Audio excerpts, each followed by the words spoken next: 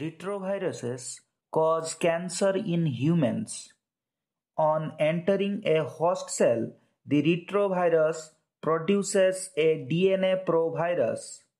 The DNA provirus consists of host sequences, LTR sequences, GAG gene sequence, POL gene sequence, and ENV gene sequence. LTR stands for long terminal repeat.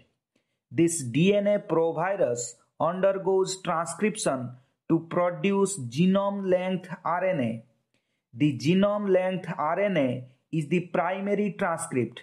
This primary transcript serves as a genomic RNA for progeny virus particles. The primary transcript consists of GAG gene, POL gene, and ENV gene.